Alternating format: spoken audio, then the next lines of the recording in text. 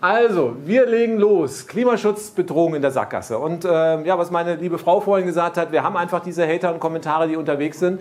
Ähm, ich finde es trotzdem nochmal relativ inter interessant, das nochmal mitzukriegen, weil das sind ja auch so die Zwickmühlen, in denen die Politikern sind. Nicht? Die kriegen jetzt erstmal Druck von Fridays for Future, genauso aber auch von der anderen Seite. Und wenn man äh, auf der anderen Seite mal in das Wahlprogramm der AfD reinschaut, das ist jetzt erstmal das Bundestagswahlprogramm von der letzten Wahl, was ich mal rausgenommen habe, dann findet man sehr interessante Sachen. Das Spurengas, Kohlenstoffdioxid ist kein Schadstoff, sondern eine unverzichtbare Voraussetzung für alles Leben ja, kann man als Wissenschaftler sagen, so ganz falsch ist es nicht. Im Kontext soll es aber ausdrücken, CO2 ist kein Problem. Und da werde ich gleich nochmal darauf eingehen, was es soll. Und aus dieser Schlussfolgerung sagt die AfD, das Pariser Klimaschutzabkommen ist zu kündigen. Deutschland soll aus allen staatlichen privaten Klimaschutzorganisationen austreten und ihnen jegliche Unterstützung entziehen. Das ist, wie gesagt, auch eine Meinung in Deutschland, die immerhin ein Sechstel der Wahlbevölkerung in den Umfragen derzeit vertritt. Das müssen wir also hier erstmal erläutern und deswegen doch nochmal eine Auseinandersetzung, weil ich glaube, die oder der eine oder andere hier im Raum wird auch mit den Leuten diskutieren müssen. Nicht? Also die Frage, ich habe da mal gehört und CO2 ist so wenig und das ist schwerer als Luft und geht nach unten und keine Ahnung, ganz viele Argumente. Ein paar will ich davon erstmal entläutern. Das heißt, die Frage, hat unsere Energieversorgung überhaupt noch ein Klimaproblem? Und dazu müssen wir erstmal ganz banal ausholen. Ich fange jetzt immer so auf 8. Klasse Schulniveau an, damit wir also auch dann äh, alle erreichen. Und das Erste, was wir haben, ist, wir verbrennen Kohlenstoff. Ja? Öl, Kohle und Gas. Wenn wir das verbrennen, dann ist die Chemika äh, chemische Reaktion Kohlenstoff, zwei Atome Sauerstoff aus der Luft zusammen macht CO2. Da sind ich wahrscheinlich mit der AfD noch vollkommen auf Linie. So, das Problem, was wir dabei haben, ist, diese Menge an Kohlenstoff, Dioxid kommt jedes Jahr zusätzlich durch die Verbrennung von Erdöl, Erdgas und Kohle dazu. Das heißt, wir haben eine Menge im Kreislauf und wir akkumulieren das. Das heißt, wir pusten jedes Jahr 33, genau, da muss man schon lernen, welche Zahl das ist, nicht? Also, meinen Sohn mal angucken, der weiß das vielleicht.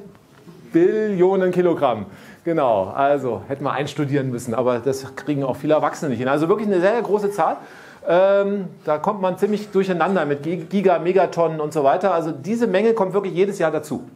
Und das ist das Problem, dass sich das entsprechend in der Atmosphäre anreichert und auch das können wir zeigen. Was wir auf dieser Grafik sehen, sind äh, Daten, Eisbohrkerne von äh, der CO2-Konzentration in der Atmosphäre. Die gehen hier 400.000 Jahre zurück. Wir können das so 600.000 bis 800.000 Jahre rekonstruieren. Wie macht man das? Wir haben in der Arktis ewiges Eis. Jedes Jahr gibt es eine neue Schicht, die oben drauf kommt. Und dann können wir wie bei Baumringen in die Tiefe bohren und dann Eis rausholen, was 10.000, 100.000 Jahre alt ist. Und in diesem Eis gibt es kleine Lufteinschlüsse. Und diese können wir dann analysieren und wissen, wie viel vor 100.000 Jahren an CO2 in der Luft war. Also das geht, wie gesagt, etwa ein paar hunderttausend Jahre. Danach war die Erde schon mal irgendwann eisfrei vor ein paar Millionen Jahren. Da können wir das natürlich nicht ganz so einfach mehr machen. Ähm, da sind die Abschätzungen ungenauer. Hier können wir das relativ gut sehen und wir sehen, dass wir Schwankungen haben. Es geht nach oben und unten und das kann man relativ gut zuordnen. Hatten wir wenig CO2, hatten wir eine Eiszeit, hatten wir viel CO2, gab es eine Warmzeit. Das ist der Verlauf bis Christi Geburt und was jetzt hier dazu kommt, das ist die Entwicklung der CO2-Konzentration von 1750 bis 2017, 18. Ähm, ja, das sind also hier die Werte. Wir sind mittlerweile schon bei über 410 ppm. Ich muss das jedes Jahr nach oben anbauen. Ich mache die Folie hier schon seit 10, äh, 15 Jahren. Früher hat es noch gereicht. Also mittlerweile irgendwann komme ich also auch mit dem Beamerbild nicht mehr hin. Das heißt, aber was wir sehen, diese enormen Mengen, die wir freisetzen, die verschwinden nicht irgendwo. Das heißt, die bleiben in der Atmosphäre drin und reichern sich an. Das messen wir. Das können wir einfach nachweisen. Ja, und äh, da gibt es dann wieder die Leute, die sagen, ja, das ist wenig CO2. Ja, aber wenn wir das anschauen, es ist erstmal eine ganz katastrophale Veränderung. So, was macht dieses CO2? Auch da müssen wir jetzt in die Physik erstmal einsteigen. Das heißt, äh, die Sonne lässt erstmal Licht auf die Erde, Strahlung, solare Strahlung auf die Erde treffen. Ist erstmal gut so, sonst wäre es hier nämlich wirklich saukalt, also minus 270 Grad, irgendwie, das wäre sehr unangenehm. Also gut, dass wir die Sonne haben. Die Sonne erwärmt die Erde, das heißt also, und wir haben jetzt erstmal auftreffende Solarstrahlung. So, werden wir die Solarstrahlung nicht mehr los, dann gilt einfach den Strahlungsgesetze, dann würden wir irgendwann die Temperatur der Sonnenoberfläche annehmen. So, das wäre dann auch wieder unangenehm. Insofern ist es sehr schön, dass die Erde jetzt einen Gleichgewichtszustand gehabt hat. Also wir haben sichtbares Licht, was reinkommt und wir sind in einem Gleichgewicht momentan. Die Sonne strahlt, die, äh, die Erde strahlt die gleiche Energiemenge jetzt, die wieder reinkommt, wieder ins Weltall. Das ist notwendig, damit sich die Temperatur nicht mehr verändert. So, die, die, Energie, die reinkommt, ist sichtbar, im Wesentlichen sichtbares Licht, bisschen Infrarot, aber sehr viel sichtbares Licht. Das, was rausgeht, ist Infrarotstrahlung. Und da kommt jetzt das CO2 ins Spiel. Das hat eine relativ interessante physikalische Eigenschaft. Das kann man jedem Physiklabor nachweisen. Das heißt, es lässt dieses Sonnenlicht relativ gut durch. Ein paar Teile werden auch rausgefiltert, aber das kommt noch einigermaßen gut durch. Und es gibt im Infrarotbereich Teile, die halt nicht mehr durchkommen. Und wenn wir jetzt das CO2 anreichern, dann kommt weiterhin das sichtbare Licht ganz gut rauf, aber wir kriegen nicht mehr die ganze Infrarotstrahlung ins All los. Das heißt, das wird zusätzlich absorbiert und zur Erde zurückgestrahlt. Die Mengen sind nicht klein, aber die sind ausreichend, um dieses Gleichgewicht zu zerstören und zu verändern. Das können wir uns anschauen. Ähm, das Problem, was wir nämlich hier auch erstmal haben, wir haben verschiedene Gruppen, Industrie, Nutzung fossiler Energieträger, Landwirtschaft, Waldzerstörung, sind verschiedene Gase. Ähm, also wenn man da kann man noch längere Vorträge halten. Das Wichtigste aber mit Abstand, äh, ja über 70 Prozent des weltweiten Treibhauseffekts kommt von Kohlendioxid. Die anderen Gase spielen auch noch eine Rolle und jetzt haben wir einfach diese Effekte. Das CO2 und die anderen Gase sorgen dafür, dass die Wärmestrahlung nicht mehr ungehindert ins Weltall zurückkommt. Einfach, relativ einfach. Wir nennen das Treibhauseffekt. Ich muss mit ganz vielen Leuten im Internet, da ist aber gar kein Treibhaus, da ist kein Deckel da. Nein, aber das sind einfach physikalische äh, Eigenschaften, die man hier relativ einfach äh, darstellen will. Und in der Wissenschaft versuchen wir es immer so, dass die Leute auch damit was anfangen kann. Wenn ich jetzt irgendwie mit Absorptionsspektren von CO2 anfange, ist das schwierig. Wenn man sagen, ist wie im Treibhaus, dann versteht das jeder. So, das ist also hier das Problem. Wenn wir uns die Temperaturen anschauen, dann sehen wir auch, dass dieses Anreichern von diesem CO2 einen enormen Effekt hat. Hier haben wir nochmal die letzten 20.000 Jahre Klimageschichte dargestellt. Also wir haben hier 20.000 vor Christus auf der linken Seite, dann 0 Christi Geburt und das ist erstmal der Temperaturanstieg bis 1900. Das heißt also, wir haben einen sehr schönen Anstieg insgesamt äh, seit der Eiszeit erlebt, bis etwa zum Jahr 10.000 vor Christus. Dann hat sich sehr stark stabilisiert. Das heißt, wir haben also dann relativ stabile Bedingungen. Mit dem Meeresspiegel, auch interessant ist, äh, mit dem, der Temperatur ist der Meeresspiegel angestiegen. Und zwar um 120 Meter. Das heißt, kann man sich gar nicht vorstellen, dass wir solche radikalen Veränderungen hier auf der Erde gesehen haben. Ähm, hat jemand eine Idee, wie Berlin vor 20.000 Jahren ausgesehen hat? Stellen Sie sich das mal vor. Auch eine interessante Sache. Genau. Da kommt für meinen Studenten oft mal so Sumpf oder Urwald oder so. Nee, Eiszeit. Ja, Eiszeit, 200 Meter Eis über Berlin. Vor 20.000 Jahren wäre niemand auf die Idee gekommen, hier überhaupt eine Stadt zu gründen. Das war ein komplett toter Punkt auf der Erde, wo man nie hätte überleben können, gescheit. Das heißt also, die Erde kann sich radikal verändern und wir haben etwa seit 7.000, 8.000 vor Christus sehr stabile Bedingungen. Die Temperatur hat relativ wenig geschwankt. Und nun kommt der Effekt dazu, den wir jetzt messen. Das heißt also, seit 1900 schnellt die Temperatur nach oben und wir sind jetzt bei etwa einem Grad plus 2018 durch diese Anreicherung im Wesentlichen dieser Treibhausgase. Auch das können Sie halt sehr schön nachweisen. Und wenn wir das Ganze uns jetzt anschauen, dann sehen wir, die Dramatik des Treibhauseffekts. Und deswegen finde ich diese Grafik eigentlich sehr wichtig. Nicht? Also draußen ist es heute relativ unangenehm, es sind 30 Grad, wir hatten auch schon mal 33 Grad die letzten Tage, ist alles immer warm und schwül. Das heißt also, wenn wir sagen, da sind 3 Grad Unterschied, wird man sagen, okay, was soll denn da 3 Grad, ist keine große Sache, das ist Wetter. Das heißt, wenn wir 3 Grad plus oder minus beim Wetter haben, brauchen Sie in der Regel immer die gleiche Jacke. Wenn wir 3 Grad plus weltweit im, im weltweiten Durchschnitt haben, das ist der Klima, das heißt also, wenn wir 3 Grad plus im weltweiten Durchschnitt haben, dann haben wir hier eine Klimaveränderung. Und bei 3 Grad plus 3,5 ist schon so der Unterschied von der Eiszeit bis zu einer Warmzeit. Das ist also hier eine radikale Veränderung. Und jetzt sehen wir, wir haben 1 Grad on the top obendrauf. Das ist, wenn man das mal übersetzt, fast eine Drittel Eiszeit als Temperaturveränderung nochmal auf die Warmzeit obendrauf. Und wir haben das in einem Tempo, ein Grad plus haben wir ja auch schon gesehen, nur dafür haben wir früher immer 2.000, 3.000 Jahre gebraucht, wir haben das in 100 Jahren geschafft. Das heißt, wir sehen, dass wir eine radikale Klimaveränderung haben, die in dieser Art und Weise atemberaubendes Tempo hat. Ähm, und das muss man den Leuten erstmal klar machen. Man sagt, naja, das eine Grad und das ist ja alles nicht so schlimm. Das heißt also, wenn wir das entsprechend einordnen, dann ist das wirklich schon ein radikaler Effekt. Wenn wir ganz genau hinschauen, dann können wir auch schon die Effekte sehen. Das heißt, äh, wir sehen die eigentlich schon seit 10, 20 Jahren. Der Dürresommer letztes Jahr hat es erstmal uns hier auch wirklich, glaube ich, jedem dann plastisch gemacht. Wenn man ganz genau hinschaut, dann sieht man das in der äh, Arktis. Wir haben hier eine Aufnahme äh, von 1979, das heißt hier der Polareisbereich. Hier sehen wir Grönland, ganz unten ist dann Kanada, weiter oben dann Russland und das ist die gleiche Aufnahme 2012. Das heißt also, wenn wir sagen, naja, das eine Grad ist nicht so besonders schlimm, wir sehen, dass wir hier radikale Veränderungen mittlerweile auf der Erde eingeläutet haben. Also es geht nicht darum, da kommt ein Klimawandel. Der Klimawandel findet schon statt und verändert diese Erde in einer dramatischen Art und Weise. Das heißt, wir gehen davon aus, dass der Nordpol ja, etwa Mitte des Jahrhunderts so oder so vermutlich äh, im Sommer, Juli, August eisfrei werden wird. Das ist erstmal noch nicht so dramatisch. Das hat lokale Ursachen oder lokale Bedingungen äh, zur Folge. Das heißt, vor allen Dingen die Ureinwohner, die haben natürlich hier sehr große Probleme. Wir kriegen davon noch gar nicht so viel mit. Weil es geht hier erstmal um das schwimmende Eis. Das heißt also schwimmendes Eis zu Hause mal ausprobieren, ein Glas Wasser oder ein leckeres Getränk, Eiswürfel rein und mal gucken, was passiert, wenn das Eis taut. Der Meeresspiegel im Glas wird konstant bleiben, weil es schwimmendes Eis ist. Problematisch wird es, wenn man jetzt zusätzliche Eiswürfel in dieses Glas reinschmeißt. Das heißt, dann haben wir eine Sauerei irgendwann. Auf dem Tisch kann man es aufmachen. Auf der Erde wird es ein bisschen ärgerlicher. Die Sauerei kommt, wenn das Festlandeis dazukommt. Und hier auf Grönland, was wir hier im Bild sehen, haben wir enorme Eismengen. Eismengen, die in der Lage äh, sind, die Meeresspiegel, wenn wir Grönland komplett abtauen, um sieben Meter ansteigen zu lassen. Das ist schon mal eine ganz große Herausforderung, die dann irgendwann zu bewältigen gibt. Und gibt es immer noch auch Leute, im Internet findet man, Grönland war doch schon mal eisfrei. Hm. Also hätten wir mitbekommen, sieben Meter plus im Mittelalter, Grönland eisfrei. Einfach mal googeln, findet man, man findet sehr viele interessante Sachen im Internet. Was wäre passiert? Sieben Meter plus, also genau, Venedig, Mittelalter, wäre ein bisschen schwierig gewesen, diese Stadt aufzubauen. Ne? Also das heißt, wenn man alleine ein bisschen logisch überlegt, kann man viele dieser Argumente widerlegen. Ja, Grönland selber heißt Grönland Grünland, weil hier auch heute sieht man, die Küsten halt grün sind. Nicht? Also das heißt, ähm, das ist auch hier schon zu sehen. Das war auch schon immer so. Also das ist erstmal nicht so das Problem. Aber wenn Grönland abtaucht, 7 Meter plus, wir haben die Antarktis noch dazu auf der Südhalbkugel. Die fängt jetzt leider auch schon an zu tauen. Das heißt, da ist nochmal ein Potenzial für 60 Meter plus. Berlin liegt auf 30.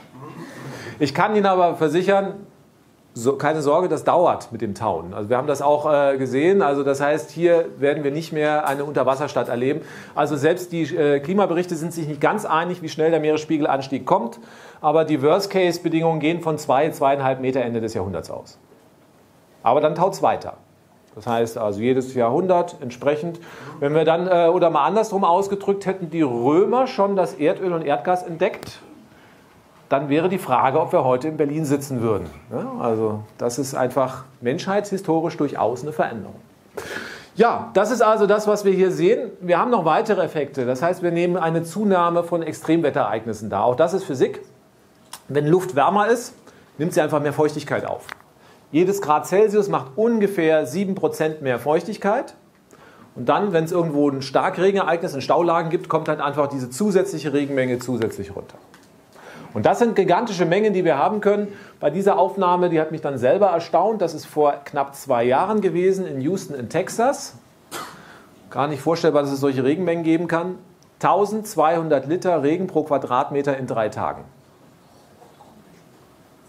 Es gibt immer Leute, die sagen, naja, Klimawandel, da kann man sich ja anpassen. Da ist nicht die Frage, ob sie sich anpassen. Da ist dann die Frage, reiße ich das weg oder baue ich es wieder auf? Und das ist die Frage, die uns früher oder später machen. Im reichen Amerika sicherlich noch nicht so das Problem, wobei es waren auch gut 60, 70 Milliarden Euro Schäden allein in drei Tagen. Also so ein Klimawandel kann auch enorme Schäden verursachen und wir diskutieren darüber, naja, können wir es uns leisten, den Klimawandel zu verhindern.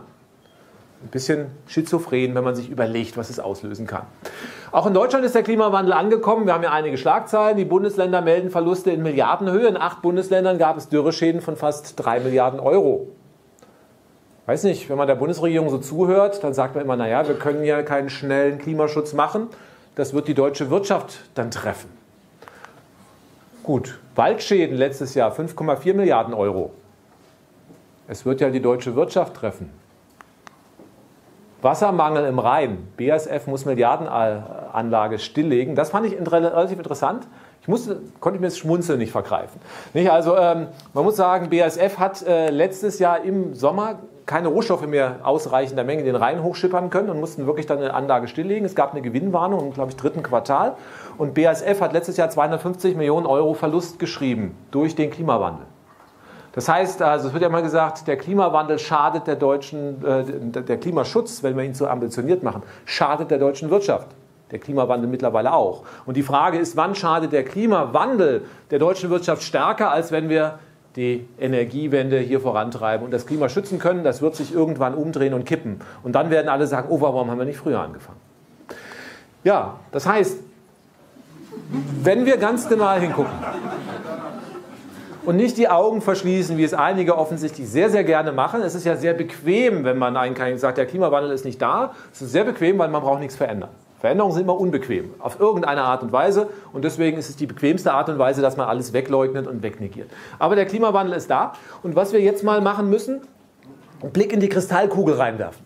Das heißt, Blick in die Kristallkugel, wie entwickelt sich, das war alles ja eine Vergangenheit, wie entwickelt sich das in den nächsten 100 Jahren vielleicht? Blick in die Kristallkugel machen wir auch in der Wissenschaft. Das heißt, es gibt hier sehr tolle Klimaforscher in Deutschland. Wir haben auch äh, super Modelle. Wir können also mittlerweile das Klima in relativ großen äh, Modellen abmachen. Die, die, Modelle sind sehr leistungsfähig. Das heißt, sie bilden die Erde in ganz vielen kleinen Waben und Gitterpunkten ab. Sie haben da Millionen von Gitterpunkten und dann müssen sie für jeden Zeitschritt viele, ganz tausende von Differentialgleichungen rechnen, Millionen. Das heißt also, um das hinzukriegen, haben sie die leistungsfähigsten Rechner in Deutschland stehen irgendwie beim Klimarechenzentrum. Da gibt es immer die Leute, die dann sagen, das glaube ich alles nicht. Die Modelle taugen nichts, ich habe das mal nachgerechnet. Das stimmt nicht.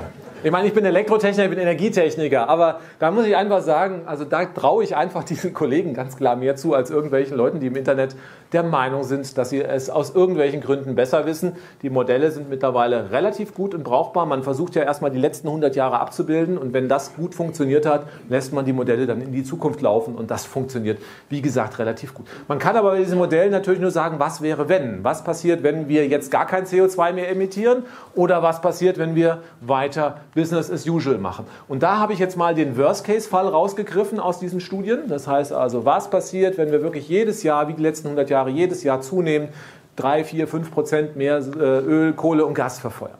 Dann werden wir, brauche ich mehr Platz, Ende des Jahrhunderts auf etwa 4 bis 5 Grad plus hinauslaufen. Ich glaube, auch da braucht man jetzt kein Klimaforscher zu sein, um zu verstehen, dass diese Veränderung nicht so gut ist für die Erde. Also 200 Meter Eis, Mammut, Säbelzahntiger, dreieinhalb Grad plus, ganz andere Welt. Wir leben in Berlin, wo keiner vorher gelebt habe. Und nun machen wir in 100 Jahren 5 Grad plus. Die Veränderungen werden radikal sein, da gehen wir erstmal noch drauf ein. Das heißt also, da passiert etwas momentan, was uns irgendwann früher oder später komplett außer, aus der Kontrolle gerät. Und ähm, das heißt, nun hatten wir das auch schon, Sie finden auch Berichte aus den 90er Jahren, da steht das auch schon drin. Das hat keiner zu wahr, wahrgenommen. Nicht? Da stand dann drin, naja, 2100, so, das müssen wir einfach reden, also 90er Jahre.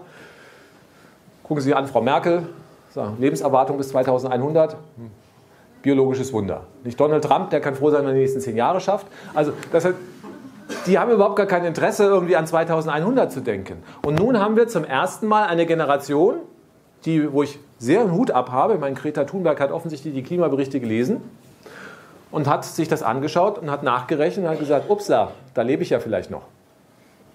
Und jetzt haben wir zum ersten Mal beim Klimawandel so eine Art Generationenkonflikt. Meine Generation, wo man sagt 2100, nö, wird nichts. So, also ist gar nicht so schlimm. Genau, nach mir. Ich habe zwar Kinder, aber genau, die kriegen das schon irgendwie hin. So, also das ist unsere Generation. Und dann gibt es die neue Generation, die sagt, nee, ist blöd. Also das trifft mich im Alter voll. Und deswegen möchten wir da irgendwas ändern. Und diesen Konflikt werden wir zunehmend austragen müssen, weil wir einfach halt das Jahr 2100 hier dabei haben. Und die junge Generation hat es mittlerweile auch verstanden. Und zwar relativ vehement. Ich werde auch gleich nochmal darauf eingehen, was man alles tun muss und was auch alles versäumt wurde. Insofern kann ich nur sagen, das ist vollkommen berechtigt. Also wenn ich jetzt hier irgendwie U20 wäre, also wo dann 200, 2100 noch klappen könnte, dann würde ich da also auch stehen und kampieren. Ähm, bin auch so öfter mal dabei, aber das liegt am Verantwortungsbewusstsein nicht für mich, sondern für die nächste Generation, was ja auch vielleicht ein Wesenszug ist, den man an den Tag legen kann. Gut, Was wird passieren? Früher oder später steigen die Meeresspiegel. Also das heißt, äh, wann und wie schnell, da sind sich die Klimaforscher noch nicht ganz, hängt ja auch davon ab, wie schnell wir das mit dem Klimawandel machen. Aber ein bis zwei Meter Ende des Jahrhunderts sind durchaus drin. Ähm, ja, wir hatten hier, das ist eine Bildaufnahme von New York. Ähm, wir hatten hier einen Hurricane auch schon mal, der eine große Flutwelle über die Stadt geschwappt hat. Das ist jetzt mittlerweile auch acht oder zehn Jahre her. Und ähm, ja, so sieht New York aus mit 3,50 Meter plus. Ja, also das ist ähm, relativ interessant. Früher oder später haben wir einfach gar keine Chance mehr, die Küstenstädte zu halten und müssen sie aufgeben. Das ist erstmal die erste Konsequenz. Das wird noch nicht in den nächsten fünf oder zehn Jahren passieren, aber es passiert schleichend. Und ähm, dann haben wir wirklich sehr, sehr große Mengen. Ein Drittel der Menschheit wohnt küstennah. Dass man sich das mal langfristig überlegt, was das bedeutet. Den nächsten Punkt, den wir haben, der Klimawandel bedroht die Wasserversorgung. Das heißt, wir haben auch Gebiete, wo mittlerweile Veränderung der Niederschlags Es regnet auf der, Erde nicht, auf der Erde nicht weniger, im Gegenteil. Also das heißt, ähm, die gleiche Energieumsatz in der Atmosphäre, es regnet nur woanders. Haben wir ja gesehen. Wenn da 1200 Liter irgendwo in Houston runterkommen, gibt es natürlich eine andere Stelle, wo diese Menge halt nicht mehr runterkommen kann, weil diese große Menge sich da schon abgeregnet hat. Und das sieht dann so aus. Das heißt, das sind jetzt hier Situationen. Wir hatten das hier in Brandenburg letztes Jahr. Äh, das wird auch hier äh, sehr prädestiniert dafür, dass es hier weiter trockener wird noch zunehmend. Ähm, hier in Kalifornien kann man das schon mal üben. Also ähm, die hatten vier Dürresommer hintereinander. Da kommt dann auch wirklich kein Trinkwasser mehr aus der Leitung. Im reichen Amerika löst man das Problem aber, indem man halt einfach irgendeinen Tanklaster vorbeischickt mit Trinkwasser und ähm, das heißt, das ist erstmal lösbar. Es gibt aber Regionen auf der Erde, wo sie keinen Tanklaster bekommen. Das heißt, dann sind sie da und das Wasser bleibt weg. Was machen sie? Sie gehen zum Wasser hin. Das ist die nächste Situation. Das heißt also, wir haben steigende Meeresspiegel an den Küsten. Wir haben veränderte Niederschlagssituationen, die dafür sorgt, dass wir erstmal hier ähm, einen Effekt haben, dass wir Trinkwasserversorgung haben. Wenn die Trinkwasserversorgung knapp wird, wird auch die Nahrungsmittelversorgung ein Problem. Fand ich relativ spannend. Ich hatte das auch noch gar nicht so auf dem Schirm, hat mich mein Nachbar letztes Jahr eigentlich schon mal drauf gebracht. Ähm, also ich bin ja gebürtiger Wessi, wohne aber jetzt hier in Ostberlin, also ein Wahlossi und wohne hier auch total gerne, äh, weil wir einfach die Leute total nett sind. Total nette Nachbarn. Und mit dem habe ich mich, äh, der hat mich dann angesprochen letztes Jahr. Wir reden öfter mal auch über solche Themen, Klimawandel und am Zaun, nicht? Und dann hat er gesagt, du Volker, das mit dem Klimawandel wäre zu DDR-Zeiten ein Problem gewesen. Ich sage, hä, was meinst du denn jetzt? Wieso denn das? Naja, habe gerade gelesen, 30 Prozent Ernterückgang in der Landwirtschaft. Das hätten wir im real existierenden Sozialismus nicht ausgleichen können. Nächstes Jahr wäre das Brot knapp geworden. Da muss ich erstmal drüber nachdenken. Als Wessi hat man sowas ja nicht auf dem Schirm. Nicht? Was passiert momentan? Wir haben wirklich 30 Prozent Ernterückgang. Brot ist immer noch da, weil wir kaufen es gerade jemand anders weg. Ja? Also das ist die Situation. Wir haben dieses Jahr weniger Getreide geerntet weltweit, als wir essen. Wir decken das aus den Nahrungsmittelrückständen, Stellungen, also wir haben Lagerbestände, ist, ist nicht ein Problem momentan. Nur was wäre, wenn wir dann drei, vier, fünf Mal hintereinander weniger ernten? Das wird in den nächsten fünf Jahren sehr unwahrscheinlich, dass das passiert. Mitte des Jahrhunderts vielleicht schon. Und dann ist die Frage nicht mehr, ja, also wem kaufe ich es weg, sondern die Frage wird dann sich irgendwann zu stellen sein, wenn es nicht mehr für alle reicht, wer hat die stärkeren Waffen? Und das sind Sachen, die ich mir für meine Kinderwiege nicht mehr vorstellen möchte. Da sind die Sprengkräfte für den Klimawandel, wenn man das anfängt zu Ende zu denken, was dann passiert. Das heißt, der Klimawandel bedroht die Nahrungsmittelversorgung. Wir werden als Letzte hier davon mitkriegen. Wir haben ganz gute Bedingungen in Europa, nur dort nicht. Das heißt also, die Frage ist immer, genau, wie viele Leute wollen wir im Mittelmeer säufen oder müssen wir irgendwann Maschinengewehre an den Küsten aufstellen, um die Leute davon abzuhalten, dorthin zu gehen, wo es noch Essen und Trinken gibt. Das wird nicht die nächsten fünf Jahre passieren, aber 2100 in dem Bereich, wo unsere Kinder noch leben, durchaus denkbar. Was mich dann als auch Klimaforscher oder Wissenschaftler dann auch immer wieder schockt, sind Veröffentlichungen von Kollegen. Hier ist eine Veröffentlichung von 2017, zwei Jahre alt. Und hier hat eine Kollegin mal äh, durchgerechnet, was äh, passiert mit den Temperaturen und zwar, wo kriegen wir kritische Bereiche. Der Mensch ist sehr, sehr clever aufgebaut von der Biologie, immer faszinierend. Also sie können nach unten relativ gute Temperaturen ab. Minus 30 Grad überhaupt kein Thema. Ja, brauchen so eine gescheite Jacke. Also das heißt, es ist eine Frage der Kleidung. Irgendwann, so bei minus 80 oder so, wird es auch dann irgendwann, da hört es dann auf. Aber das heißt, wir können nach unten schon relativ viele Temperaturen abpuffern. Nach oben ist der Mensch auch schon relativ clever. Also Sie können, Sauna weiß man ja, 60 Grad, das geht irgendwie eine gewisse Zeit. Sie können auch 50 Grad permanent überleben in der Wüste. Sie brauchen nur ausreichend Wasser.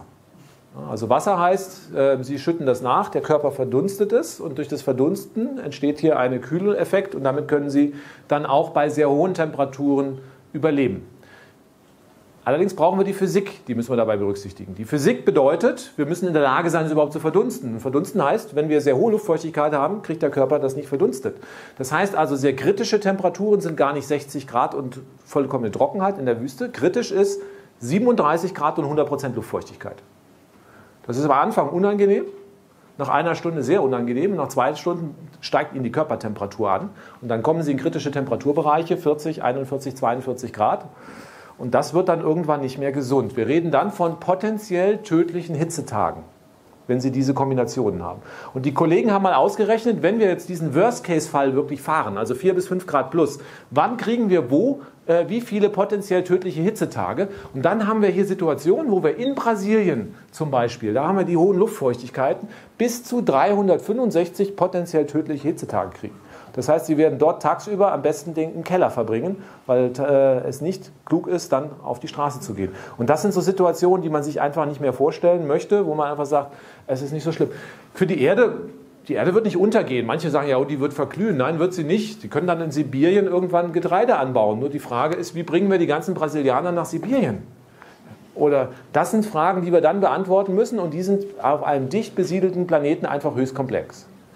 Die Menschheit gibt es ja schon seit 200.000 Jahren. Wir hatten diese Klimaveränderung. Bislang hat die Menschheit die Klimaveränderung immer dadurch kompensiert, dass sie weitergezogen ist in einem Gebiet, wo man noch gut leben kann.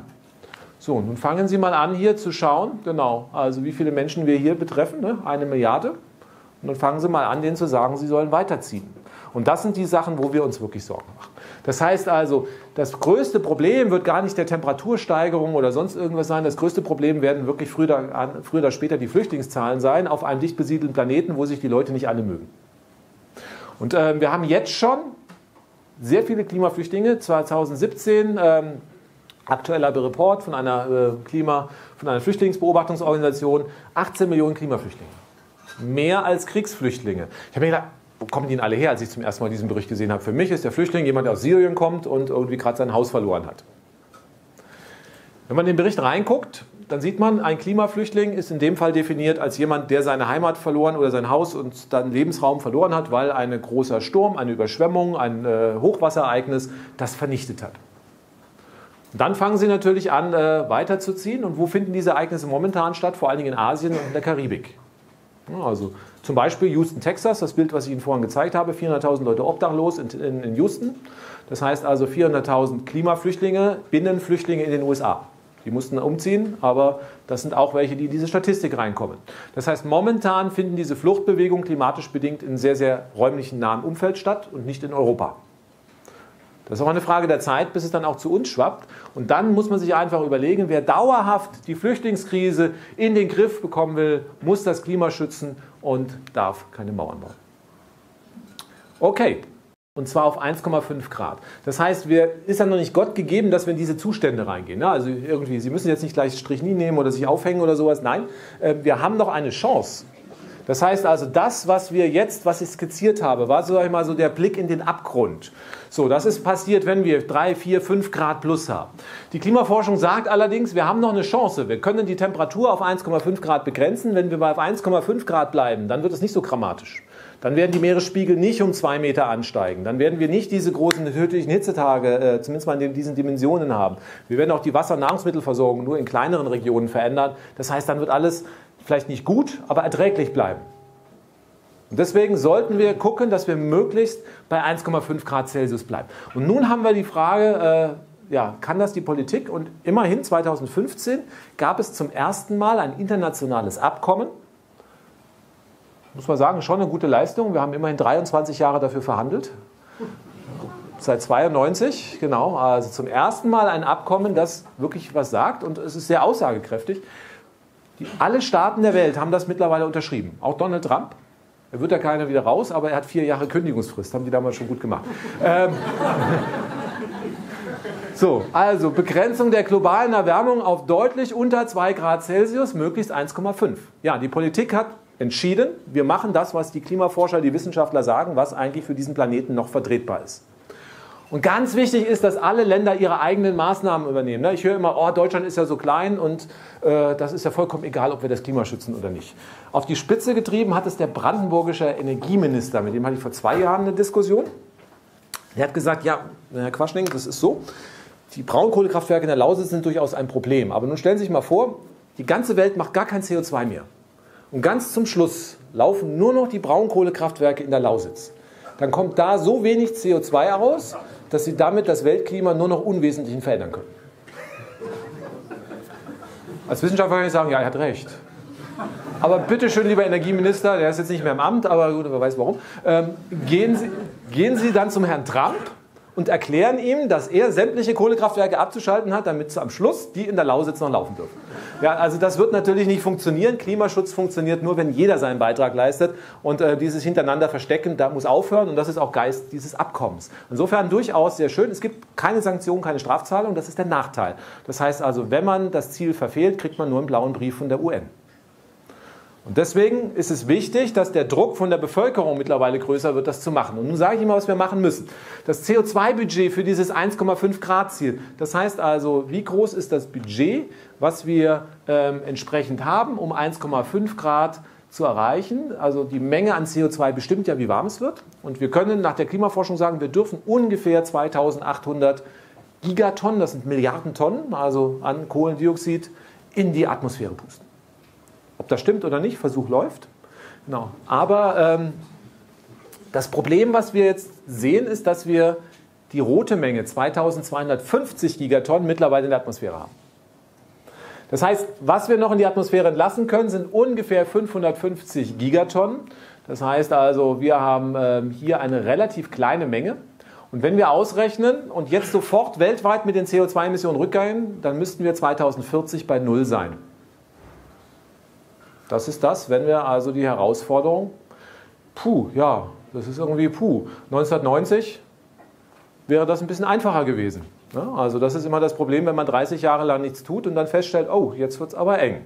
Also weiß man, wenn man irgendwie zu Freunden geht und irgendwo eine Party hat und irgendwie den Kuchen noch schnell backen muss, aber da geht es ja nicht sehr viel. Hier geht es natürlich um irgendwelche anderen Sachen. So, wir fassen das nochmal zusammen. Also, das ist jetzt Deutschland jetzt nicht Gigatonnen, Megatonnen, also das heißt aber, hier geht es runter und wir müssen 2040 auf Null sein.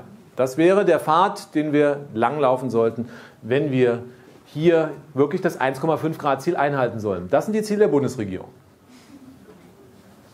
Wobei mittlerweile wird diskutiert, 2050, Frau Merkel redet jetzt darüber, dass wir hier vielleicht dann doch wieder ein bisschen steiler runtergehen sollten, aber das ist alles Diskussion, also noch nicht ganz spruchreif aktuellen Ziele der deutschen Bundesregierung. Ich habe mal jetzt einen äh, Abteilungsleiter vom Umweltbundesministerium gefragt, ist euch da nichts aufgefallen?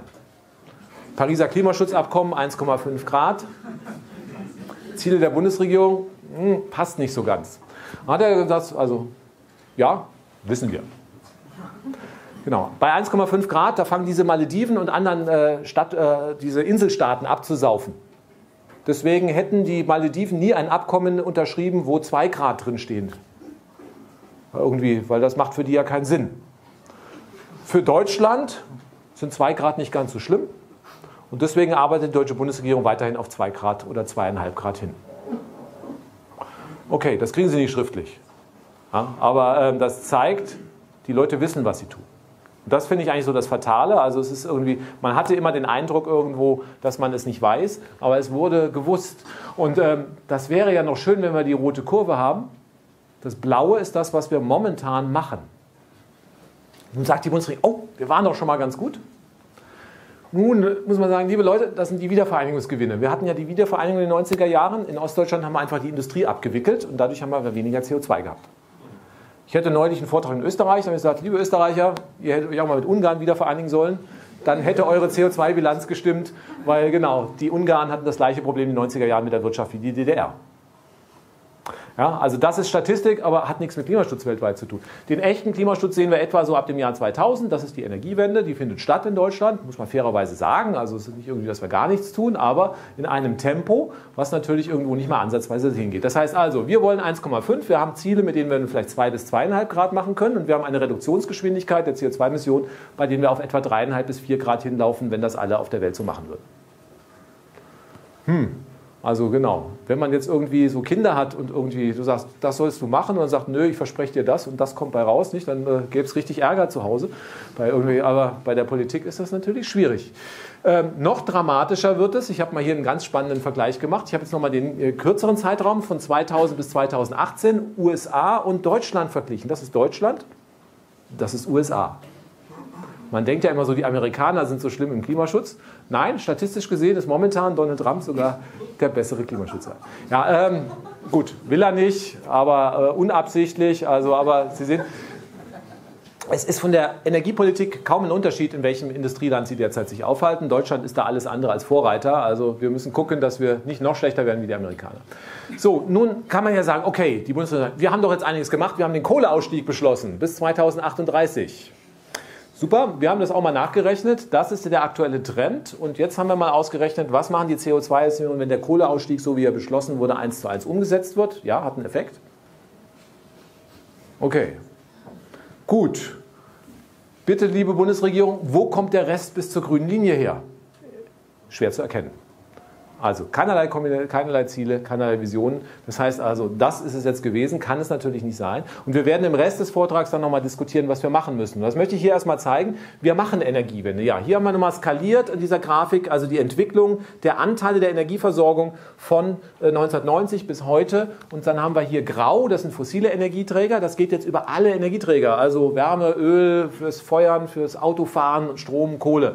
Dann haben wir ein bisschen Kernenergie, spielt also, wird dann in der Diskussion sehr stark überbewertet, also spielt gar nicht so eine große Rolle und die Erneuerbaren.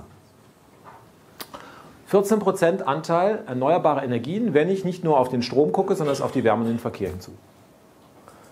Und wenn wir jetzt die Geschwindigkeit uns anschauen, wo wir die regenerativen Energien ausbauen, dann sehen wir also, wenn wir mit der gleichen Geschwindigkeit die Energie machen, Business as usual, dann werden wir gegen Ende des Jahrhunderts 60% Erneuerbare haben. Es werden immer noch 40% Fossile übrig. Und dann werden wir halt einfach auf 3 Grad plus oder größer hinauslaufen, weil das einfach viel zu langsam ist. Und nun kommt die Herausforderung, wir müssten eigentlich das hier machen. Das heißt, wir müssten versuchen, jetzt 2000 40 klimaneutral zu werden, vielleicht sogar noch fünf Jahre früher. Das heißt also, das heißt, das ist der Korridor, in dem wir klimaneutral werden müssten, um 1,5 Grad einzuhalten. So, hätten wir 1990 angefangen, wäre die Kurve nicht ganz so steil gewesen. Ne? Jetzt haben wir das Problem, jedes Jahr, was wir verlieren, wird also ein bisschen schwieriger. Das ist die Herausforderung. Nun möchte ich einfach mal Sie fragen hier im Raum, wie sieht das Ganze aus? Wer glaubt, werden wir schaffen, bis 2040 eine Energieversorgung ganz ohne Erdöl, Erdgas und Kohle weltweit aufzubauen, um so das Klima zu retten. Wer hier im Raum glaubt, dass wir es schaffen werden? Weltweit. Ja. Weltweit. Okay? Ja, 10% Optimisten, das ist gut. Ich hatte neulich eine Veranstaltung, da war ganz grausam. Da saßen noch mehr Leute wie hier und hat sich kein einziger gemeldet. Also insofern. Bitte?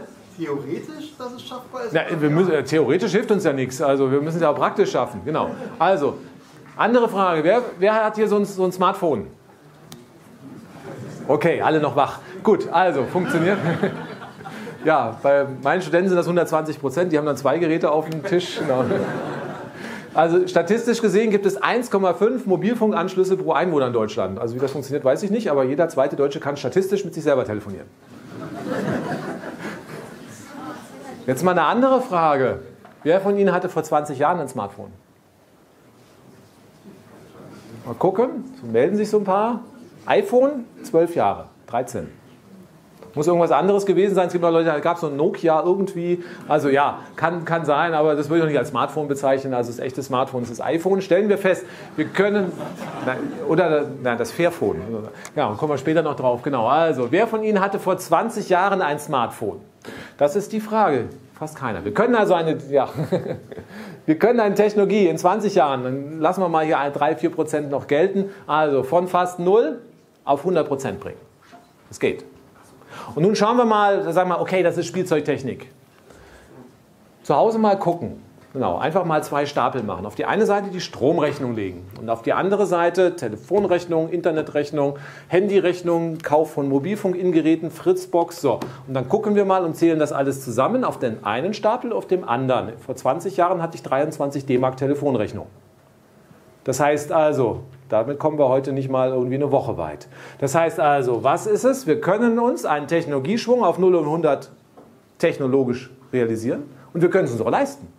Die einzige Frage bei dem Klimaschutz, warum es nicht funktioniert, ist nicht, dass wir ein technisches Problem haben, ist auch nicht, dass wir ein finanzielles Problem haben. Die einzige Frage ist, dass wir glauben, dass wir es uns nicht hinkriegen, dass wir es nicht schaffen, dass wir es nicht realisieren können. Und das zieht sich durch die ganze Bevölkerung und vor allen Dingen auch durch die Politik. Das heißt, das geht eh nicht, dann brauche ich es auch gar nicht erst anfangen. Und das ist das Problem, was wir haben. Das heißt, wir müssen es zum Man-to-the-Moon-Projekt machen. John F. Kennedy, die Amerikaner hatten ja nochmal spannende Präsidenten, auch 62. Was hat John F. Kennedy gemacht 1962? Das ist echt faszinierend. Wir feiern das demnächst hier 50 Jahre Feier. Er hat sich hingestellt vor die Nation und hat gesagt, die amerikanische Regierung hat heute beschlossen, dass wir auf den Mond fliegen werden. Gut, heute sagt man okay, aber damals muss man sagen, die NASA hatte weniger Rechenleistung als mein Handy. Also das ist wirklich eine echte Hausnummer gewesen, was man da irgendwie gesagt hat. Also das heißt, mit diesen technischen Voraussetzungen, also wir fliegen auf den Mond. Und das wird eine Stange von Geld kosten, enorme Herausforderung. Und wir werden dafür, dass wir auf den Mond kommen, ab nächste Woche die Steuern erhöhen. Was haben die Leute gemacht? Sie haben applaudiert. Das heißt, warum schaffen wir es nicht, dass sich Leute hinstellen und sagen, Unsere Regierung hat heute beschlossen, dass wir die Lebensgrundlagen unserer Kinder erhalten werden. Das ist ein schwieriges Ding, ganz klar. Das wird auch unendlich viel Geld kosten. Und wir werden dafür auch ab nächster Woche die Steuern erhöhen müssen. Wenn man das mit der gleichen Sache vorträgt wie John F. Kennedy damals, dann werden auch da die Leute applaudieren und mitmachen. Das heißt, die Frage ist, wie schaffe ich es, diese Vision zu transportieren? Und wie ist die Sache ausgegangen? John F. Kennedy war sieben Jahre später auf dem Mond. Die Amerikaner haben mehrere hundert Milliarden Dollar verbrannt um ein Wettrennen gegen Russland zu gewinnen. Mittlerweile haben wir ein Wettrennen um die Zukunft unserer Kinder und sind nicht da bereit, diesen gleichen Elan und Anspruch auf den Tagesordnung zu bringen, die Amerikaner damals gemacht haben. Das ist das einzige Problem, was wir zu lösen haben, wenn wir den Klimawandel beseitigen wollen. Ich möchte Ihnen aber jetzt alle hier die Reise auf dem Mond skizzieren. Es ist eine Reise auf dem Mond, die wir machen müssen, um das jetzt noch hinzukriegen. Und dazu schauen wir uns mal verschiedene Punkte an. Und zwar erstmal, ähm, wo kommt das CO2 her? 19 Prozent des CO2s kommen aus der Braunkohle. 11 aus der Steinkohle, 2 aus der Erdgaskraftwerken, 21 Industrie, Verkehr und Haushalte. So, wir können sagen also, das hier, die Kohlekraftwerke ist im Wesentlichen die Stromversorgung. Dann haben wir den Verkehr, auch ein großes Punkt, Haushalte, Industrie, das sind dann Wärmeanwendungen. Das heißt, wir haben eigentlich die drei großen Bereiche, Wärme, Verkehr und Strom. Und dann gucken wir uns diese drei Bereiche mal näher an. Das heißt, wir fangen an mit der Wärmeversorgung. Und bei der Wärmeversorgung sieht es so aus, 22 Prozent unserer Wärme kommen aus Erdöl, 49 aus Erdgas, dann haben wir noch ein bisschen Kohle, Strom, Fernwärme, Biomasse, Solarthermie und Wärmepumpen. Das hier sind die erneuerbaren Energien. Und als ich diese Grafik gemacht habe, gesagt, oh, ist ja schon krass, Deutschland ist ziemlich bescheuert. Wir haben eine Wärmeversorgung auf Basis von Erdöl und Erdgas und haben gar kein Erdöl und Erdgas. Ja, also lassen wir mal den Klimawandel ganz außen vor. Es ist, glaube ich, nicht richtig clever, so eine Energieversorgung zu machen. So nebenbei geben wir jedes Jahr 70 Milliarden Euro für den Import von Öl und Gas aus. Haben Sie schon mal jemand darüber reden hören, dass es blöd ist, 70 Milliarden Euro für Import von Öl und Gas auszugeben? Nö, aber die Energiewende ist zu teuer. Ja, also das ist irgendwo so eine Sache. Das Geld würde wesentlich im Land bleiben. Das kriegt dann Putin oder der Kronprinz aus Saudi-Arabien, der dann vielleicht wieder deutsche Panzer kauft. Also das sind alles so Geschäfte, aber das sind äh, Sachen, die dann natürlich nicht so clever sind, würde ich sagen. Wie können wir das Ganze hinkriegen? Natürlich müssen wir uns von der Öl- und Gasheizung trennen. Wenn wir weiter kein fossiles Öl und Gas verfeuern wollen, dann müssen wir uns von der Öl- und Gasheizung verabschieden. Und dann kann man rechnen, 2040 spätestens klimaneutral, 2020 der Einbau der letzten Öl- und Gasheizung. Ich habe so einen Vortrag auch mal auf der Tagung der Heizungsinnung gehalten. ähm, die sind aber ganz entspannt. Die sagen, die Leute werden schon nicht frieren, dann bauen wir halt andere Heizung ein. Das ist gar kein Problem. Und dann meinte ein Heizungsmeister, aber Herr Quaschning, eine Kritik habe ich schon noch. 20 Jahre Lebensdauer für eine neue Öl- und Gasheizung, so lange halten die neuen Heizungen nicht mehr. Okay, dann haben wir noch ein paar Jahre mehr Zeit. Aber ähm, ja, das ist also hier das Problem. Kann ein Industrieland sich von der Öl- und Gasheizung verabschieden? Ja, Dänemark hat das beschlossen, schon vor fast zehn Jahren. Norwegen hat beschlossen, Ölheizungen dürfen ab nächsten Jahr in Norwegen nicht mehr eingebaut werden. Norwegen ist ein Ölförderland. Deutschland hat im letzten Jahr noch auf Bundesländerebene Förderung für Ölheizungen ausgeschüttet. Man einfach so sagt, hm, es ist nicht so clever, was wir hier an der Politik machen. Die Alternative, die wir sehen, äh, wo es technisch geht, ist eine elektrische Wärmepumpe. Das heißt, wir können hier sehr effizient aus Strom Wärme machen. Und dieser Strom, der muss dann natürlich aus erneuerbaren Energien stammen, also aus Solar- und aus Windenergie. Das ist unsere Vision. Zweiter Punkt, Verkehr.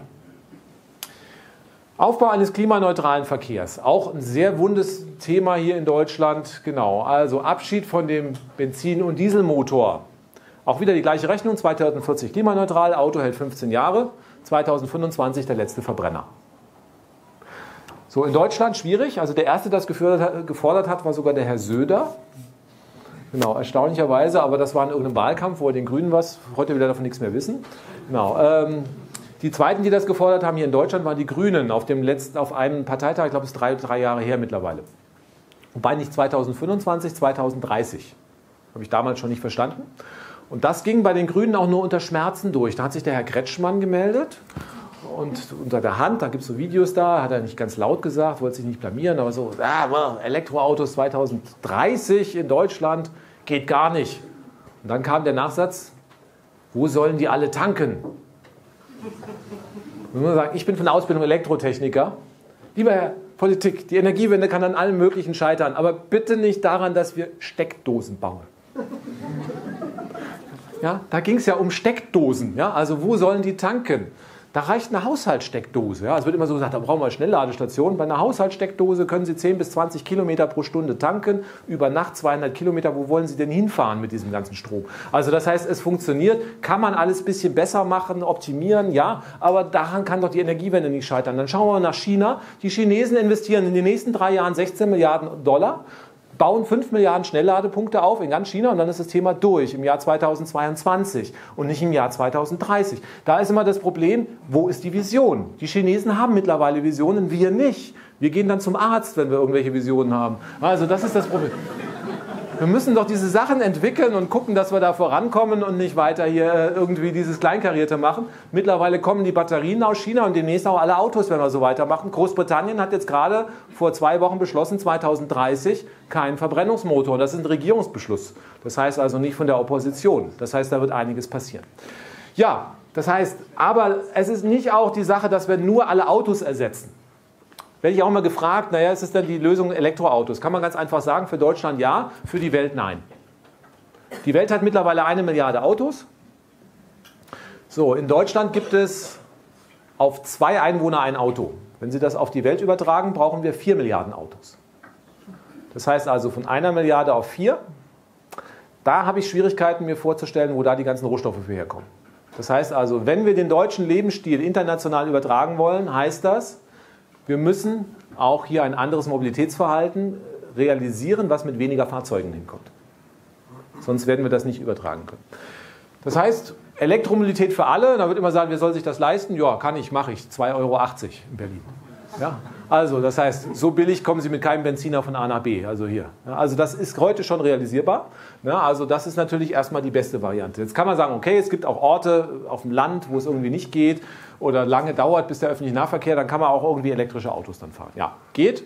Also ähm, die Amerikaner haben es vorgemacht. Irgendwann gibt es auch ein paar andere Autos, deutsche, die dann auch hier auf den Markt kommen. Und natürlich braucht man auch Steckdosen. Aber wenn man nicht weiß, wie das funktioniert, also ja, einfach mal beim Herrn Musk anrufen. Der hat also hier in Deutschland schon für seine Autos äh, dann Steckdosen aufgebaut. Genau, die Deutschen haben immer ein bisschen Schwierigkeiten dann zu tanken. Aber für Tesla ist das momentan das Problem schon gelöst. Heute, nicht 2030. Ja, ähm, dann wird immer gesagt, okay, also es gab jetzt auch neulich äh, dann sehr starke Kritik, weil ich dann auch sehr oft dann sage, das Elektroauto ist sehr wichtig. Ich habe hier nochmal eine Effizienzanalyse gemacht. Das heißt, wenn man ein Benzinauto betankt, das braucht 55 Kilowattstunden, also 5,5 Liter sind 55 Kilowattstunden pro 100 Kilometer. Man kommt also mit einer Kilowattstunde 1,8 Kilometer weit mit einem Benzinauto. Wenn man jetzt anfängt, das kann man machen aus Solarenergie, so mit Wasserstoffelektrolyse und dann noch ein bisschen andere Chemie, kann man also so ein äh, Benzinderivat herstellen. Da haben sie aber Verluste dabei, dann ist es noch ungünstiger, brauchen sie noch mehr Energie dafür bei. So, dann sagen die Leute, okay, jetzt machen wir das Wasserstoffauto. Das Wasserstoffauto, da machen wir Wasserstoff aus Sonne und Wind. Und das tut man in den Tank und das fährt dann elektrisch durch die Gegend. Ja, kann man machen. Für die Herstellung von Wasserstoff brauche ich aber erstmal relativ viel Strom. Ich verliere einiges und muss dann, wenn ich diesen Wasserstoff wieder in Strom zurückverwandle, nochmal eine Brennstoffzelle betreiben, verliere nochmal was. Das heißt also, so sonderlich klug und effizient ist das nicht.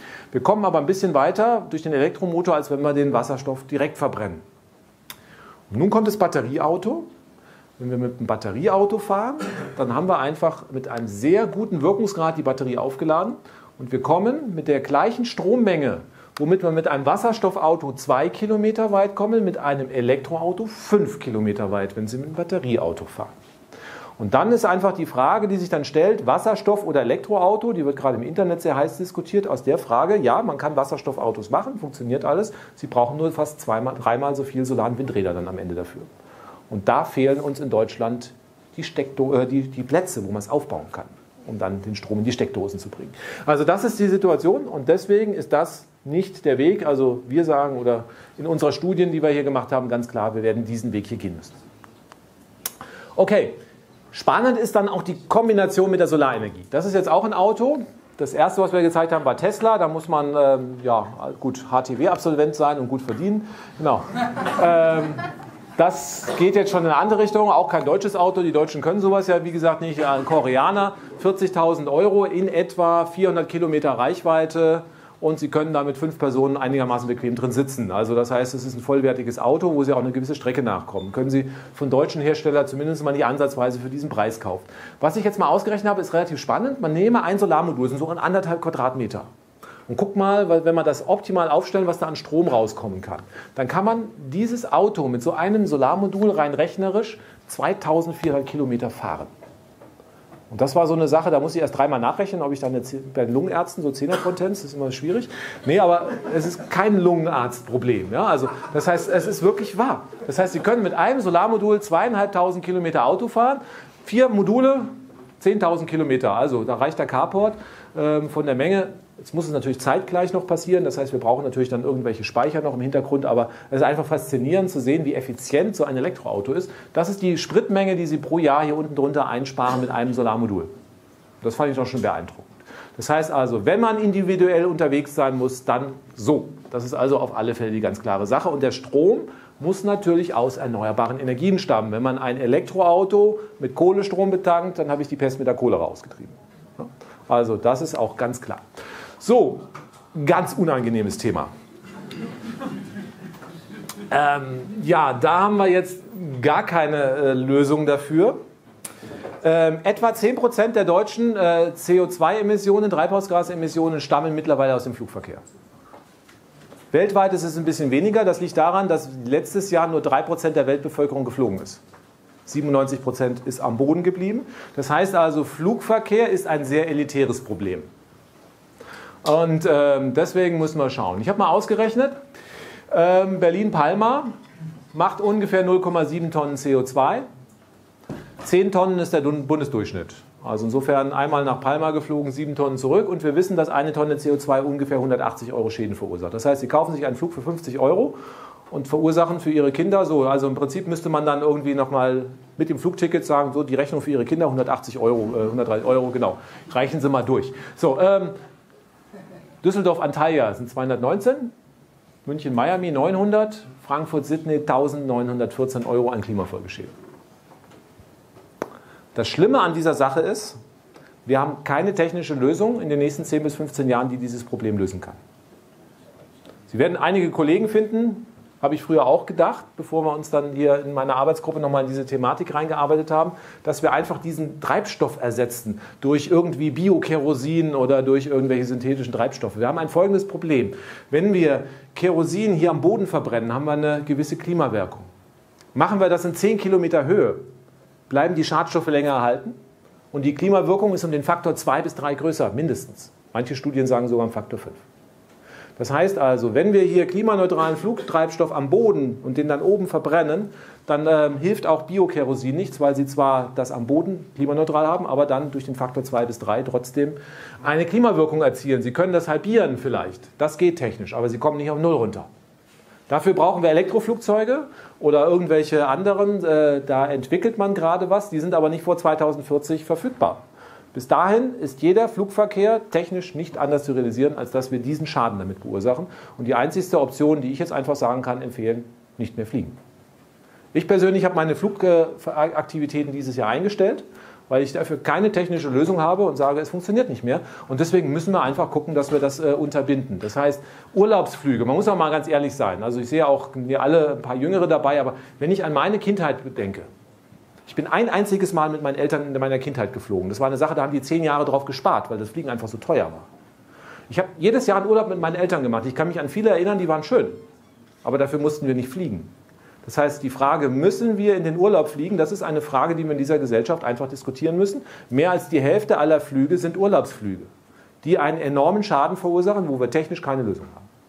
Das kann man auch der Politik nur, die kann lenken oder sowas, aber den kompletten Flugverzicht müssen wir gucken. Und auch im Businessbereich muss man ganz klar sagen, da kann man sicherlich die Hälfte der Flüge durch irgendwelche Kommunikationsmittel ersetzen. Das heißt also, da geht relativ viel. Ja, das ist ein Punkt, wo man drüber nachdenken muss. Also es lässt sich nicht alles technisch lösen. Deswegen scheut die Regierung auch zurück, weil das eine oder andere sehr unangenehm ist. Aufbau einer klimaverträglichen Stromversorgung, der letzte Punkt. Wir sehen, der Stromverbrauch in Deutschland ja, der geht leicht nach oben. Ich hatte vor fast drei Jahren jetzt eine Diskussion mit dem damaligen Staatssekretär für Energie im Wirtschaftsministerium und der hat, äh, ja, da habe ich dann gefragt, ja, wie wollt ihr das denn hinkriegen, der klimaneutral? Und er hat gesagt, wir machen jetzt Efficiency First. Okay, immer wenn man nicht weiter weiß, wird es dann so amerikanisch. Er hätte auch sagen können, Energiesparen, das hätte dann jeder verstanden, aber so klingt das ja moderner. So, ich habe gesagt, okay, leuchtet ein. Die Fernseher werden alle sparsamer pro Quadratmeter. Das ist unser Problem. Also das heißt, selbst wenn wir davon ausgehen, dass wir also es hinkriegen, klimaneutral zu werden, äh, zu wollen und der Stromverbrauch runtergeht, kann ja durchaus sein, dass wir sagen, die Räte werden alle effizienter. Das unterstellen wir nicht. Haben wir aber jetzt gesagt, wir müssen gucken, dass wir die Autos ersetzen.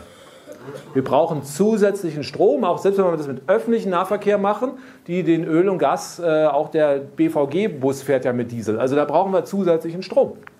Wir brauchen zusätzlichen Strom, wenn wir die Öl- und Gasheizung rausschmeißen wollen. Das müssen wir mit Wärmepumpen machen. Zusätzlicher Strom. Wir haben Industrie, die feuert heute mit Öl, Kohle und Gas. Wenn wir das ersetzen wollen, brauchen wir zusätzlichen Strom.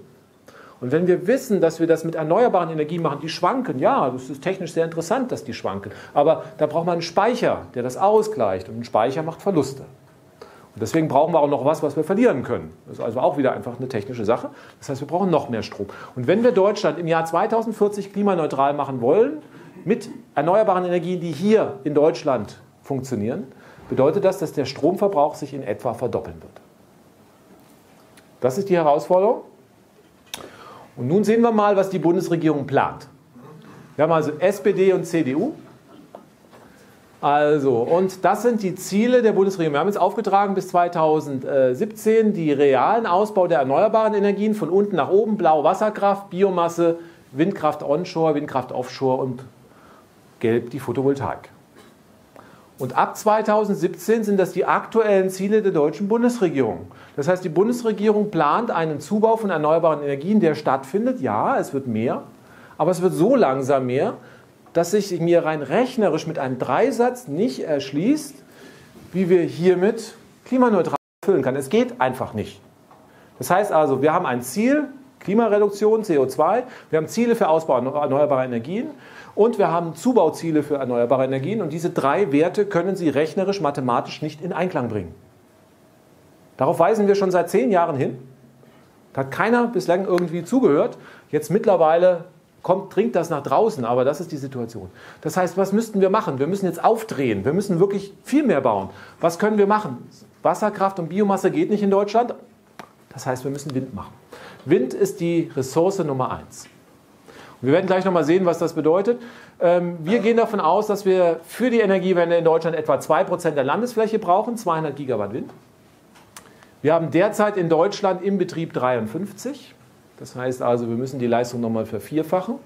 Und zahlenmäßig kann man das auch sagen. Da wird immer sagen, ah, der Herr Quaschning will jetzt Hunderttausende von Windrädern aufstellen. Nee, nur 67.000. Aber es sind schon viele, man wird sie sehen.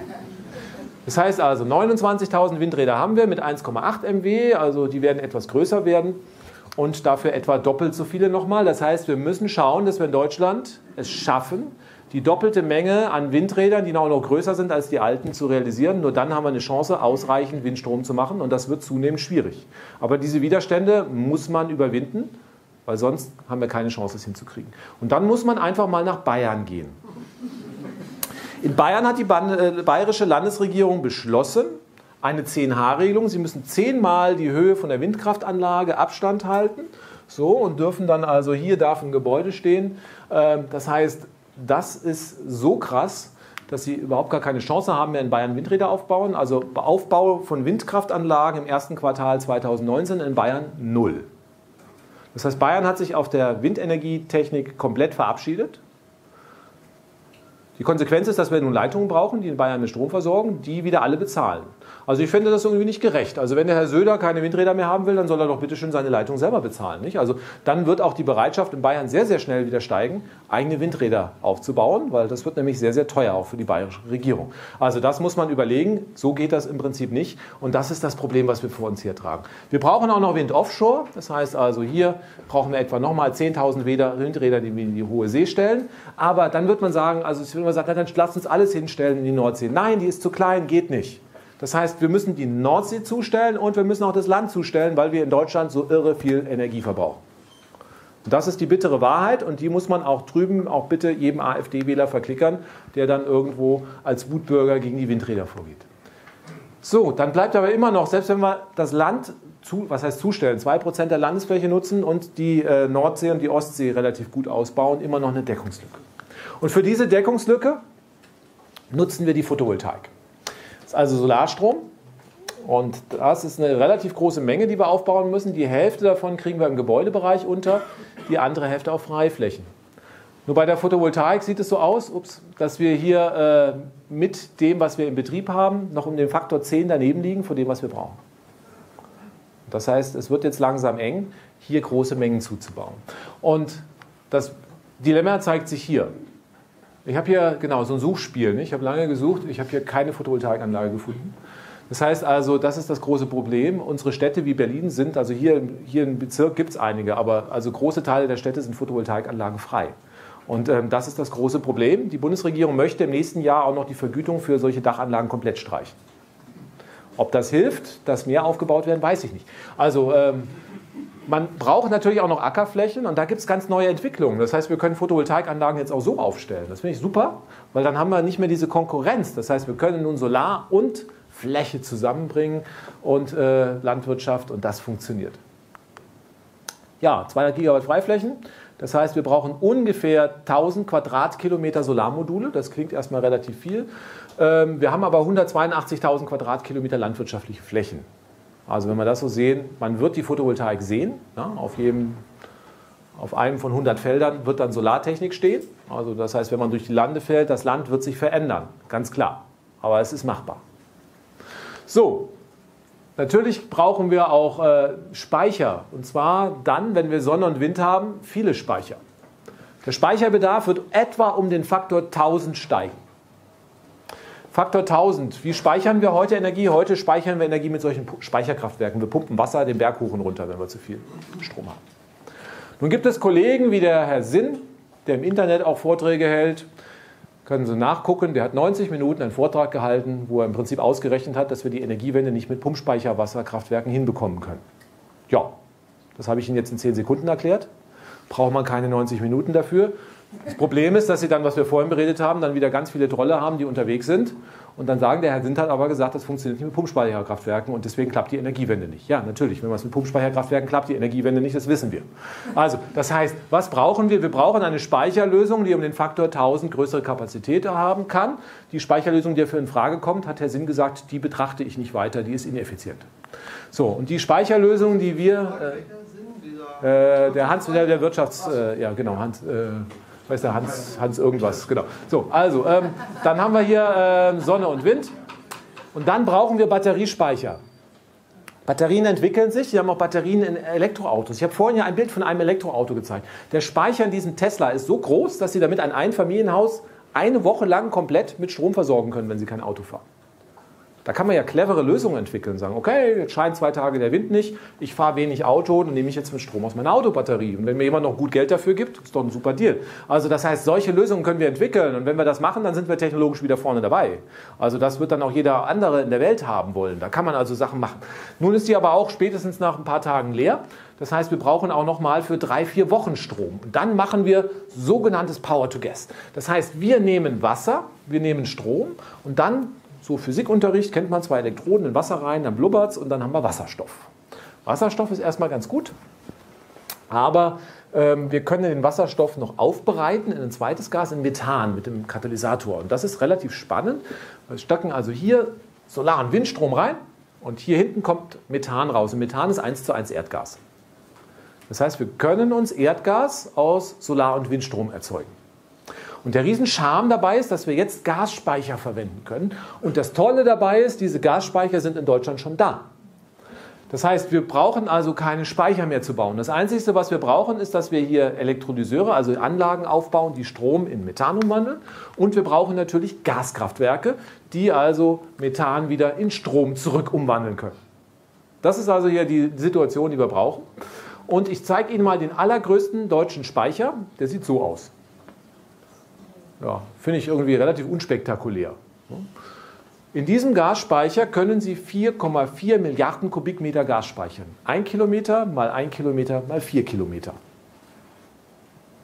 Wo ist dieses ganze Gas? Unter der Erde.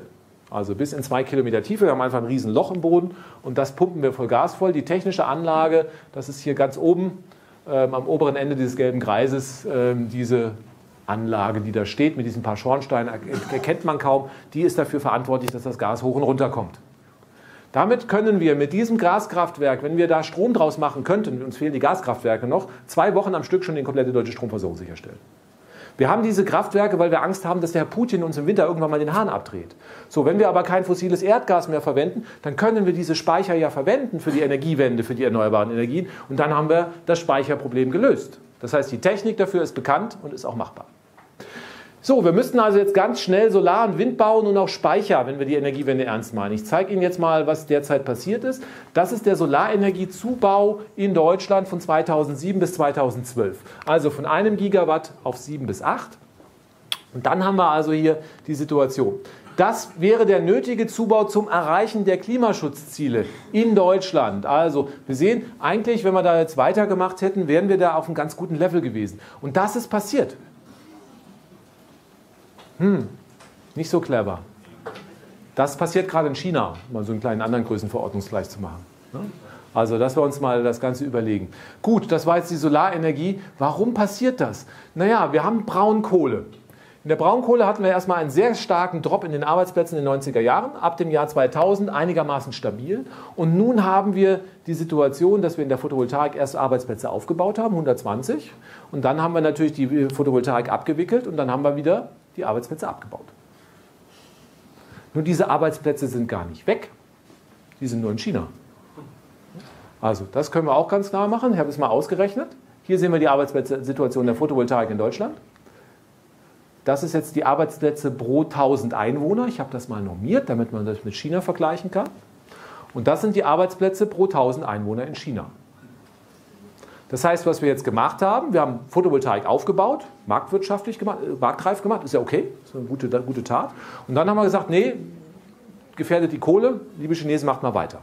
So, und das hat jetzt 80.000 Arbeitsplätze in der Photovoltaik irgendwie gekostet. Und wir diskutieren seit fünf Jahren, dass wir nicht 20.000 Arbeitsplätze in der Braunkohle abbauen können. Also, wo ich irgendwie sage, Leute, was soll das? Also, wir wickeln eine komplette Zukunftstechnologie ab, um 20.000 Jobs in der Braunkohle zu erhalten. 10.000 davon gehen in den nächsten zehn Jahren sowieso in Rente. Und dann brauchen wir noch 5.000, die aufräumen danach. Also, das heißt, es geht um 5.000 reale, direkt beschäftigte Arbeitsplätze in der Braunkohle, die vielleicht verloren gehen. Und dafür diesen Zauber, es geht darum, dass viele Gewinne da sind. Dieser ganze Zauber wiederholt sich jetzt gerade, Déjà-vu in der Windbranche. Was wir hier sehen, rot ist der Zubau der Windenergie an Land. Gelb ist die Onshore Repowering, wo wir also alte Windräder abbauen und neue dazustellen. Blau ist Offshore auf hoher See. Das wären die Mengen, die wir ausgerechnet haben, die wir bräuchten, um das Pariser Klimaschutzabkommen einzuhalten. Kann man sagen, wir waren ja auf einer guten Linie. So, das machen wir jetzt mal grau. Und was Sie jetzt sehen, das ist die Entwicklung 2018, 2019.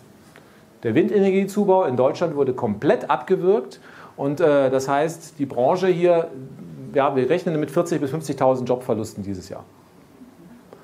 20.000 in der Braunkohle, nochmal um den Größenvergleich zu sehen. Ja, also darüber redet momentan keiner. Warum ist das so? Ähm, ich habe, um das zu visualisieren, nochmal eine ganz besondere Woche rausgegriffen. Das ist die Märzwoche, März 2019, äh, Kalenderwoche 10. Montag, Dienstag, Mittwoch, Donnerstag, Freitag, Samstag, Sonntag, also die Woche. Wir haben oben äh, mittags immer viel Strom, nachts sind die Täler wenig. Und dann können Sie sehen, wie der Strom sich zusammensetzt. Blau ein bisschen macht die Wasserkraft, grün ein bisschen die Biomasse, dann die Kernenergie, die Braunkohle, die Steinkohle, Gaskraftwerke und dann ganz viel Wind und ganz bisschen Photovoltaik. War ja März. Und nun sehen wir eine relativ interessante Sache. Die Kernenergie, die Kernenergie ist normalerweise eine Grundlast, die läuft komplett rund um die Uhr durch, macht sie fast. Die Braunkohle ist auch eine Grundlasttechnologie. Die läuft normalerweise genauso wie die Braunkohle rund um die Uhr Strich. Kann man hier nicht mehr erkennen.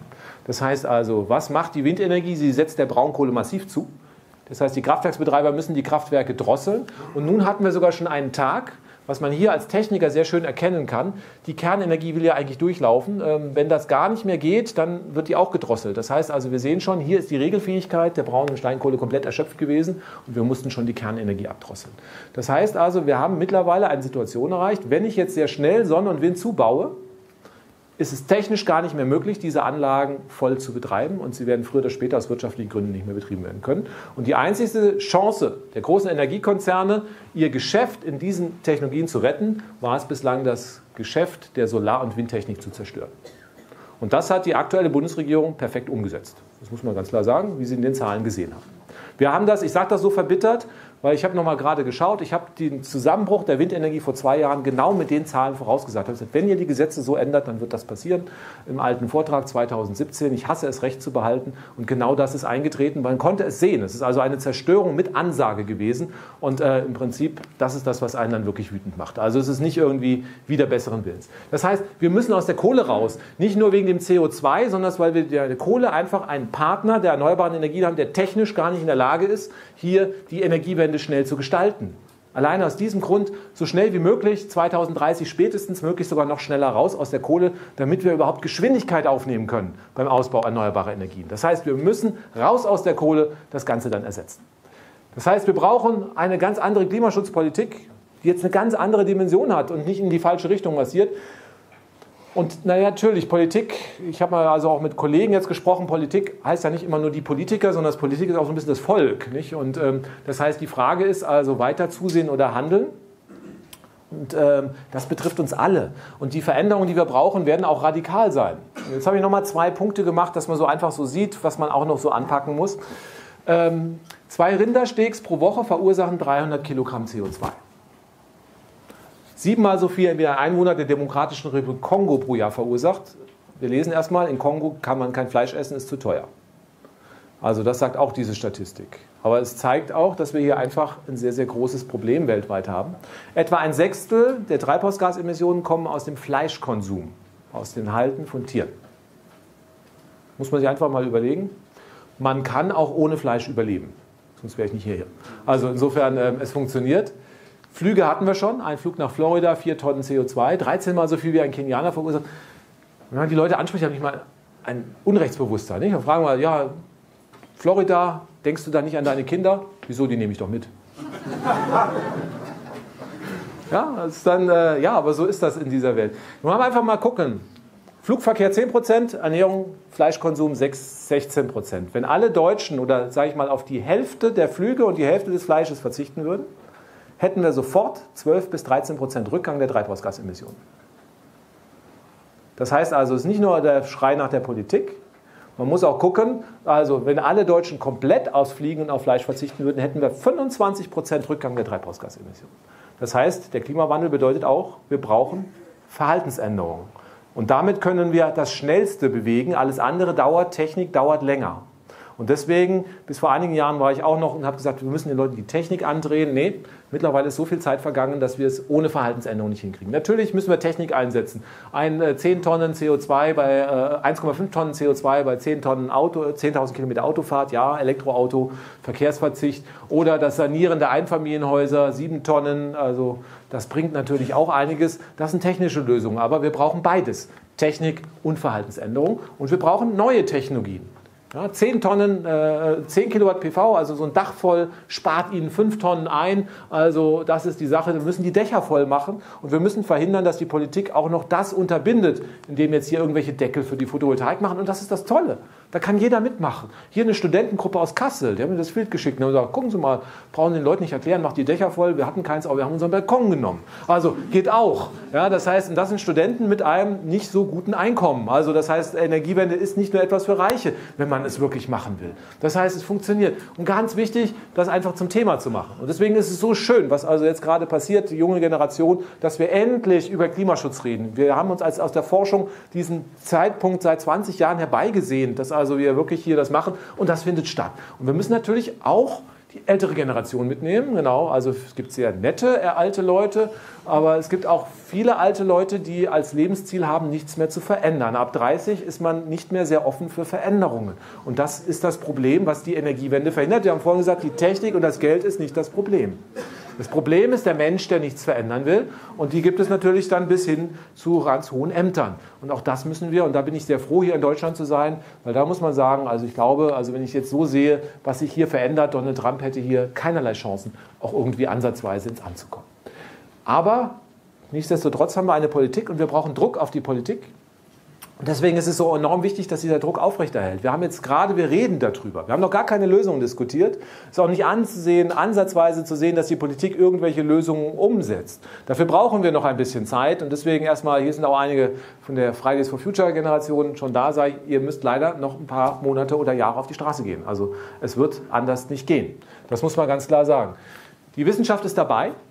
Und ich fand das irgendwie auch enorm. Also wir hatten mit ein paar Kollegen angefangen zu sagen, wir machen mal so Scientist for Future, um die junge Generation zu unterstreichen. Und äh, der Kollege Gregor Hagedorn vom Naturkundemuseum hat gesagt, aber es müssen mehr als 100 sein, das sind, sind wir Lungenärzte. Und äh, dann haben wir angefangen zu sammeln und wir hatten also innerhalb von einer Woche einfach über Mundpropaganda 700 und dann haben wir dann online gesammelt. In der zweiten Woche hatten wir 27.000 Leute, die das unterschrieben haben. Dann haben wir die Liste geschlossen, weil wir die alle geprüft haben.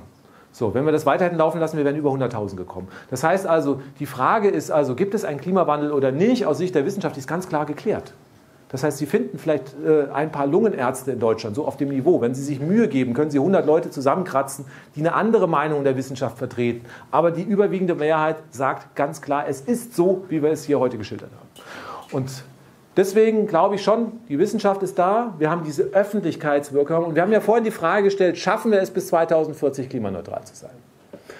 Genau, wir haben darüber geredet, es ist die Reise zum Mond, aber ich glaube, momentan ist so viel Bewegung da und es sind auch so viele tolle Leute, die unterwegs sind, dass wir eine Riesenchance haben, es wirklich zu schaffen. Wir kennen die Technologie, wir können es in Deutschland leisten. Wir haben mittlerweile ganz tolle Hunderttausende von Leuten auf der Straße, die es umsetzen wollen. Das heißt, die Frage, wenn wir das jetzt nicht hinkriegen, dann auf einen keinen Fall. Und ich glaube, die Chance ist sehr groß. Und dann treffen wir uns doch im Jahr 2040 nochmal hier. Genau. Dann gehen Sie bitte raus und wer noch nicht dabei ist, engagiert sich in der Bewegung. Und dann, glaube ich, haben wir wirklich diese Chance. Und dann treffen wir uns hier und dann sagen, ja, 2040. Und wie war das hier 2019? Hier in dem Raum, hier an der Spree G001. 10 Prozent haben geglaubt, wir schaffen es. Und dann haben wir alle die Ärmel hochgekrempelt und wir haben es hingekriegt. Und wenn Sie das machen, Genau. Spätestens dann wird ja auch die junge Generation ein bisschen älter sein. Genau. Dann werden sie der Held ihrer Enkelkinder sein. Insofern, Dankeschön für die Aufmerksamkeit.